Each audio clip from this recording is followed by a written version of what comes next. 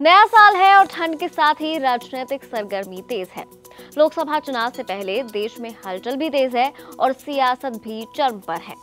बिहार में इन दिनों की पारा काफ़ी बड़ा हुआ नज़र आ रहा है। चर्चा है कि आरजेडी और जेडीयू के बीच सब कुछ ठीक नहीं चल रहा है।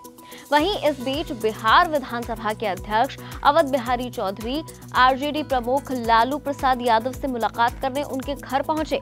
इस दौरान स्पीकर के साथ बिहार के पर्यावरण मंत्री तेज प्रताप यादव भी मौजूद रहे। इस मुलाकात को लेकर बिहार में राजनीतिक हलचल तेज हो गई है।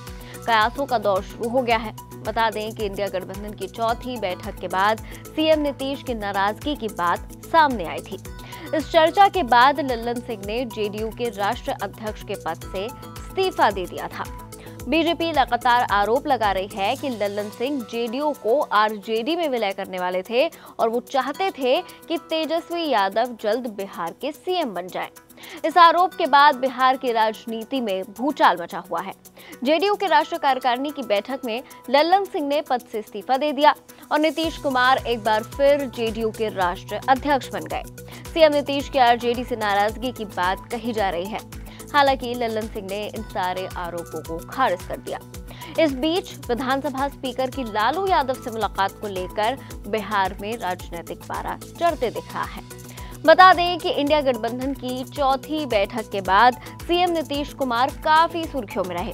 सीएम नीतीश की नाराज़गी की बात के बाद उप मुख्यमंत्री तेजस्वी यादव ने मुख्यमंत्री आवास पहुंचकर मुख्यमंत्री नीतीश कुमार से मुलाकात की थी। कहा जा रहा है कि कांग्रेस के नेता राहुल गांधी ने भी नीतीश कुमार से फ़ोन पर बात की थी। उप मुख्यमंत्री तेजस्वी यादव, मुख्यमंत्री आवास पहुँचे थे और नीतीश कुमार से मुलाकात की थी।